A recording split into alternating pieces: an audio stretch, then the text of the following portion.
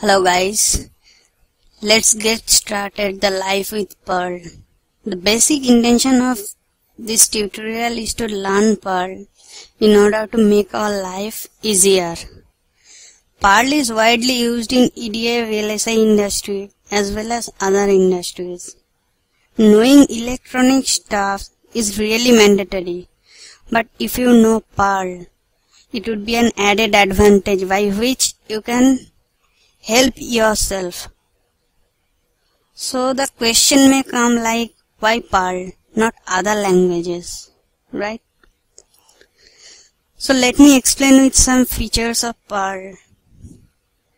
First of all, it's free.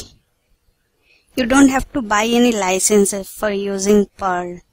It's absolutely free. And whoever doesn't wa want free things. Correct. The next one is it is simple to learn.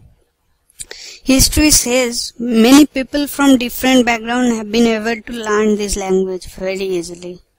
Its syntax is quite similar to C shell script and its format is less restrictive. So you can easily learn it. Once you will start using it, then you will get to learn, get to know. Next one is it runs very fast. It is interp interpreted language so it does not require any compilation which is uh, there in in case of C. Writing and editing a program is very faster than other languages. Without, without any performance problem which normally associated with the interpreted language.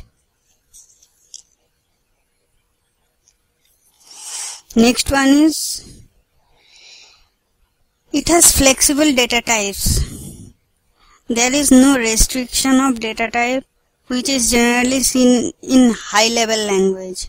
That is, uh, if you know little bit of C, C++, then that data type you have to maintain. But in case of Perl, that is flexible. It is extensible.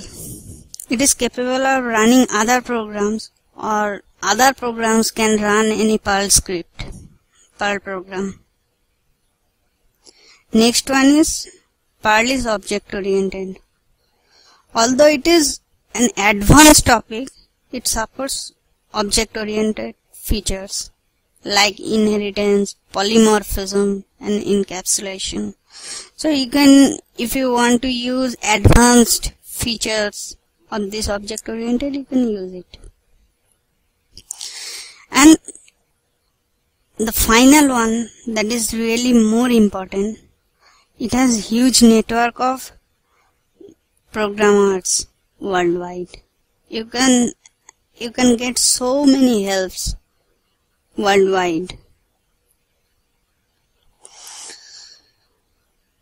So that is the that is why if you see in case of VLSI or EDA industry, Perl is extensively used. So